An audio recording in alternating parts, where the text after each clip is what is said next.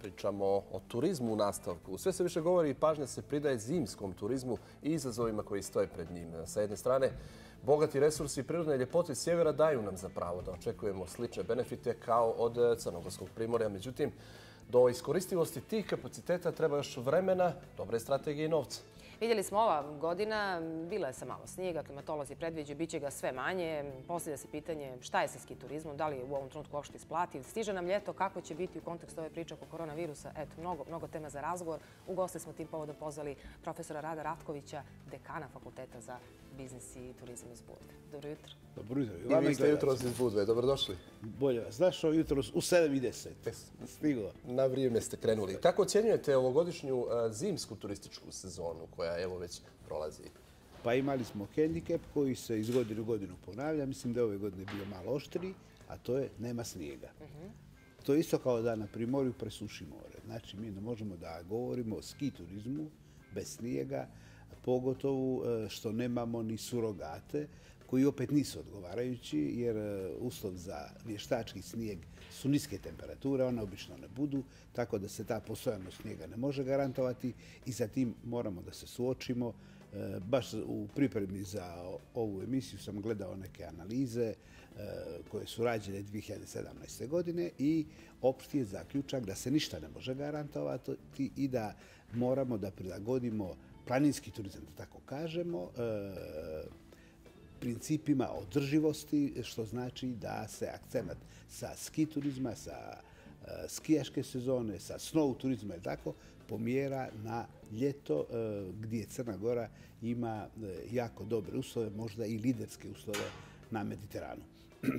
Ljetna sezona je nešto što traje znatno duže nego zimska i u najboljim godinama mi smo imali 20 do mjesec dana zimske sezone, jer e, sezon, godišnji odmor ili pauza, ovaj, praznici brzo prođu, a ljetnja sezona traje od e, recimo negdje kraja maja ili sredine maja, pa tamo skroz do oktobra mjeseca i to je održivo. E, neki moji prijatelji iz planinskog dijela Crne Gore koji su imali u vrijeme kada nije bilo globalnog odupljavanja, hotel recimo u Kolašinu, preselili su se već e, desetak ili 15 godina na Bjelacicu, na visokoj nadmorskoj visini i tamo dočekuju goste e, u ruralnom ambijentu, domaća hrana.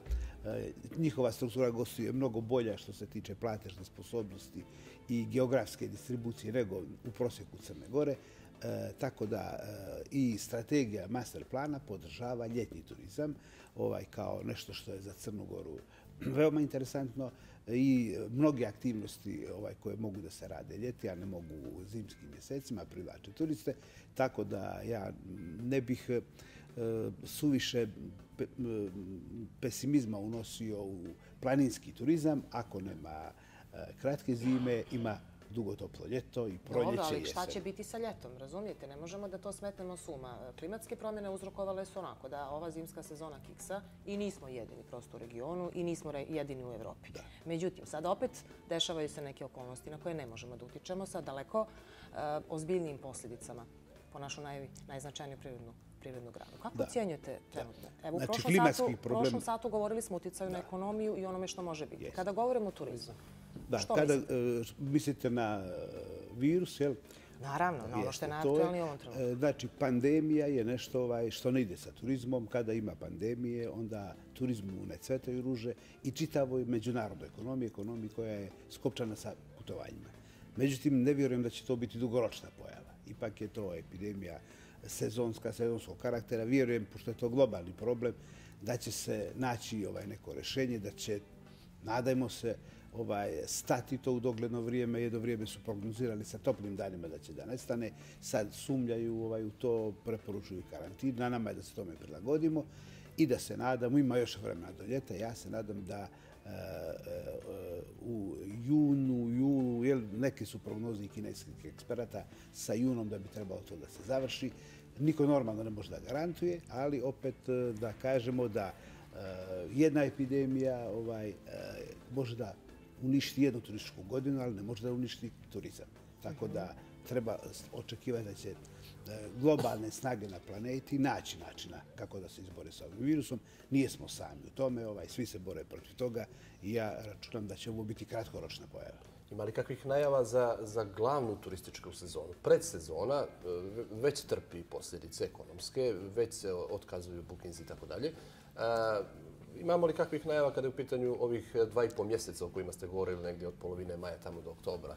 Ili je još prerano eh, ovaj, govoriti o tome? Mislim da je prerano, da je usporen booking, to je odavno konstatovano ovi koji se bave analizom tržište, koji prate. Eh, nema povećanja rezervacija, što je i prirodno. Međutim, ako se situacija smiri, nadajmo se da će biti. Osim toga, ovaj, ako izgubimo organizovani promet, što bi bila šteta, ipak ostaje ovaj direktni promet, individualni promet.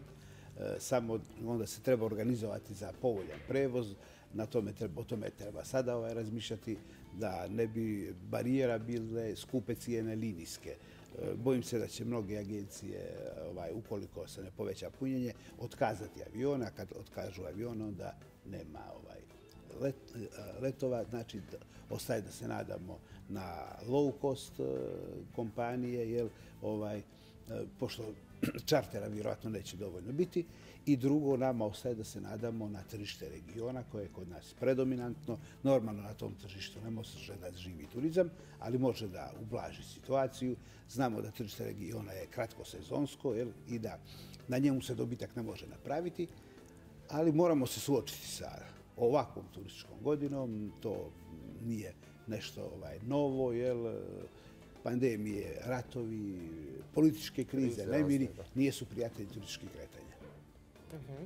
Dobro, govori se između ostalog o nekim drugim scenarijima. To je mogućnost da ako ostanemo u našoj zemlji i odlučimo da upravo ljeto provedemo u svojoj zemlji zbog ove situacije, a nećemo biti jedini, da država nešto učini tim povodom, da se napravi odgovarajući dogovor sa turističkim poslenicima kako bi se snizile cijene, kako bismo negdje i sami mogli ovaj, koristiti e, mogućnost da boravimo na nekim mjestima u našoj zemlji koje su nam platežno do skoro bila nedostupna.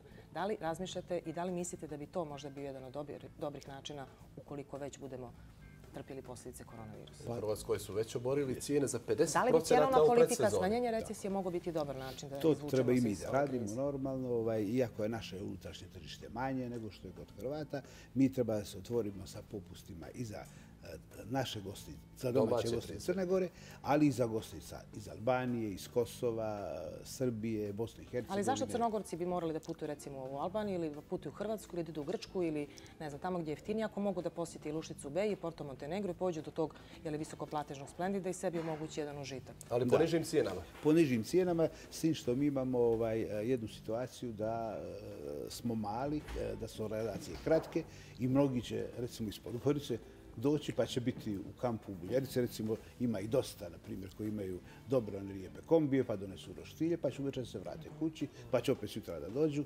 E, Crna Gora je dnevno savladiva, sve je to blizu, ovaj, ali trebalo bi u svakom slučaju e, dati po, po ugledu na Hrvatsku povoljne cijene da ovaj, e, na neki način ublašimo prijeteću slabu popunjenost jer najveći je problem prazna soba. Znači, nije problem jeftina soba, nego je problem prazna soba. Tako je, otvorit ćemo tu temu već narednog jutra u našoj emisiji. Hvala vam što ste govorili sa nama na ovu značajnu temu.